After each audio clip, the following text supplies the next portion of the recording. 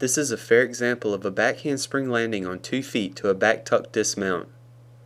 Gymnasts must know how to perform the combination on the floor, and also how to perform a beam standing back handspring to two feet and rebound. The combination is trained first on a low beam with folded mats on the sides, and the apparatus's end pointing to a loose foam pit. Notice how the feet are placed slightly in front of the other for the back tuck off.